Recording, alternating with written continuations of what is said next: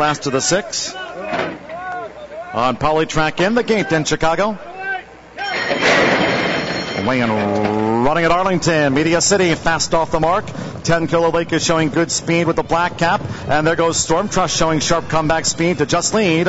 It's Storm Trust the leader at the end of one furlong. One True Thing is up close with Tenkiller Lake. Media City Earlie Fires at Mustfuhr now ranges up there between horses. And Mustfuhr going up to engage this leader. Tenkiller Lake checked there at the four and one half furlong pole now to be last but one. And Border Cat has dropped back to sixth. The opening quarter was robust. 22 and one fifth seconds going into the far turn. James Brown with Storm Trust in front now with just under three furlongs to go on the first of the day. Mustfuhr is upping the ante. E.T. Baird has Media City three deep coming toward the quarter pole. One True Thing is fourth, followed then by Tenkiller Lake, who has five lengths to find in the final quarter of a mile. And Border Cat outpaced into the stretch. Half mile and 44 and four down to this final furlong. Mustfuhr Battle Storm Trust and Tenkiller Lake runs them over just like that.